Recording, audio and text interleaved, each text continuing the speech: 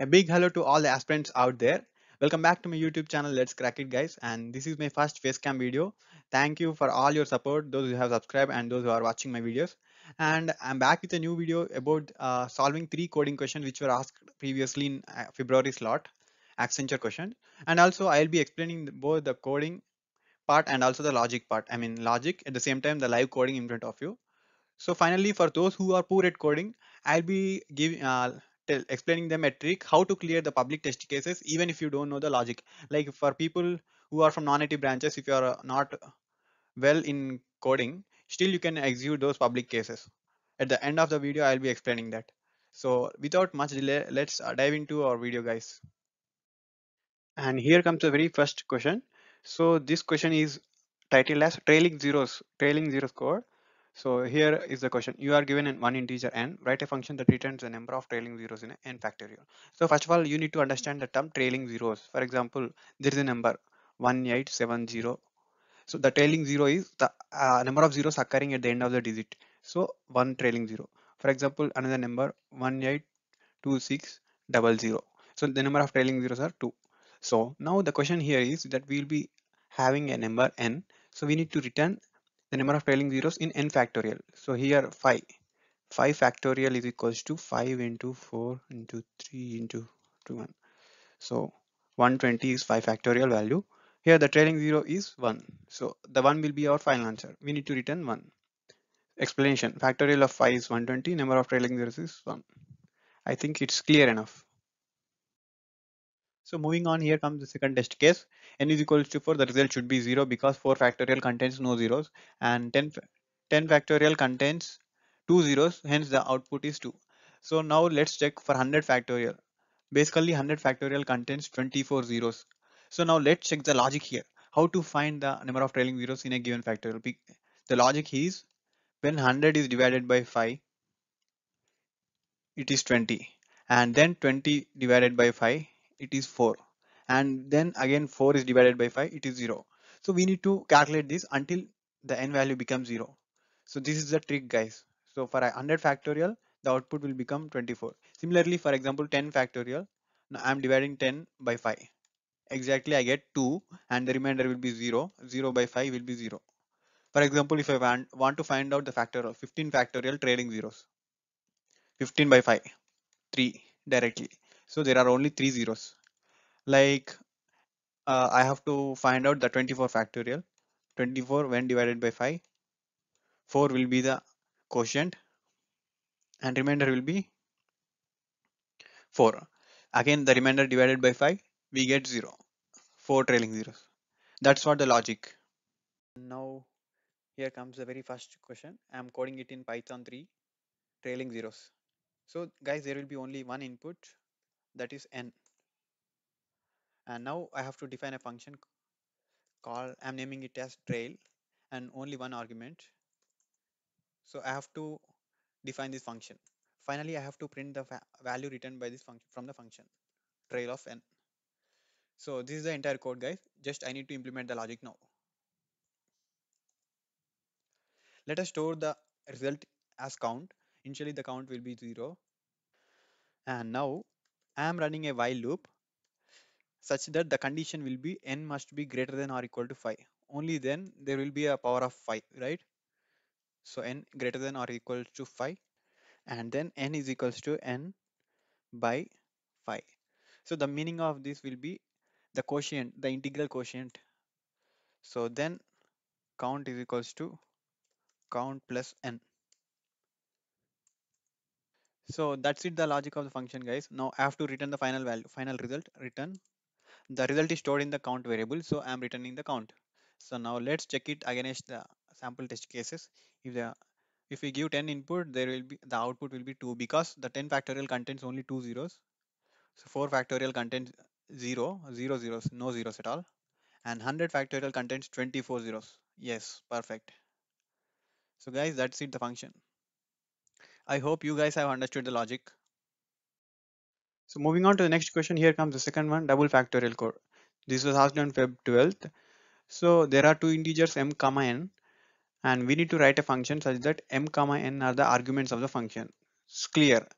So but what will be the result So the result will be understood after reading the explanation part. The factorial of 7 is 5040. Factorial of 2 will be 2 and the result should be 2520.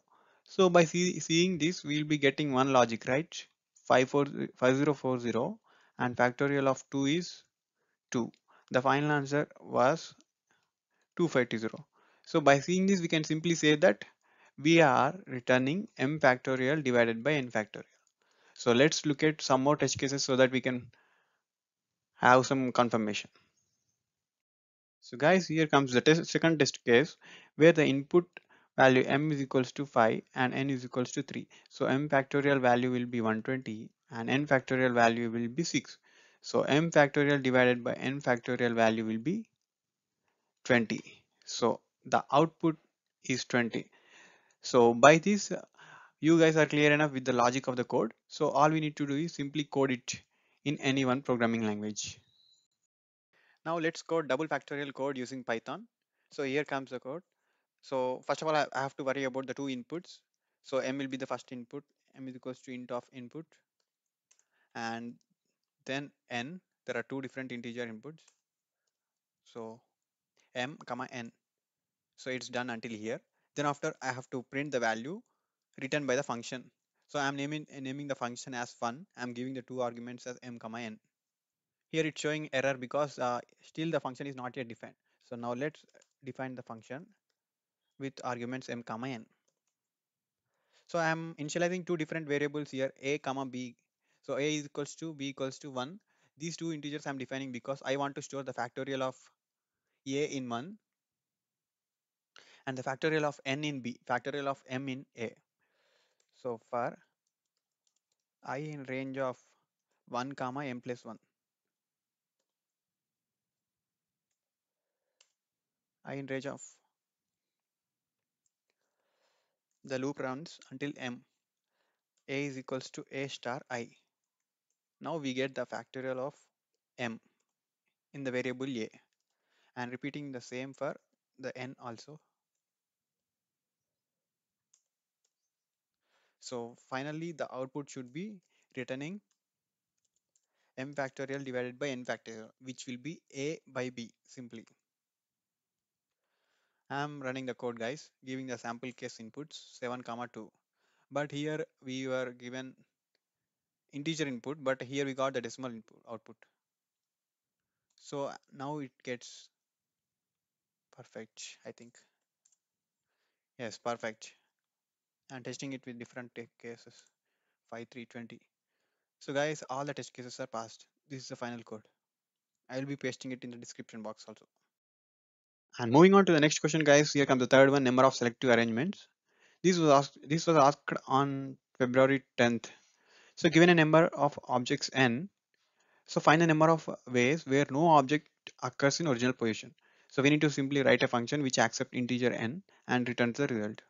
So if n is equals to 3, the result will be 2. So for all those who did not understand the question, see here n represents the number of objects. For example, here 3, number of objects be 3. 1, 2, 3. Let's name the objects as A, B, C. And this is the position 1, position 2, position 3. So we need to uh, return the number or the output such that which represents the number of ways in which these three objects can be represented but not belonging to the same position such a should not belong to position 1 again and b should not be 2 and c should not be 3 anymore like b c a will be one possibility and here comes the b and here comes a and here comes c a b these are the only two possibilities so option 2 will be the correct sorry the 2 will be the right result You'll get some more clarity on watching the second test case. So here comes the second sample test case where the input is 5 and the output is 44. So here like A, B, C, D, E, 5 different objects, 1, 2, 3, 4, 5 other positions. Now A should not occur in first position, B, C, D, E should not occur in 2, 3, 4, 5 respective positions anymore. Like A can occur career B, C, D, E. This is one possibility. A, B, C, D, E this is another possibility so on there are lots of possibilities which we cannot calculate manually so that is the reason there is a mathematically formula n factorial dearrangements of n is equal to n factorial into 1 minus 1 by 1 factorial plus 1 by 2 factorial minus 1 by 3 factorial and so on until n so but on substituting the values for d dearrangements of 1 dearrangements of 2 3 4 we get values. Like dearrangements of 1 is 0 because uh, on substituting the i mean in the formula we get it and 2 we get one value for 3 2 and d of 4 is equals to 9 d of 5 is equals to 44 and so on. So by observing this series we can also frame a different formula like d arrangements of n is equals to n minus 1 into d arrangements of n minus 1 plus d arrangements of n minus 2 so this is the exact written statement which is enough to execute this code. Like using functions recursive function using recursive function we can execute this code. And let let me show it to you. So moving on let's modify the same code for dearrangements guys. Here there is on there will be only one input so i'm cutting it. So n is equals to int of input so i'm naming the function as arrangements. So arrangements and there will be only one argument.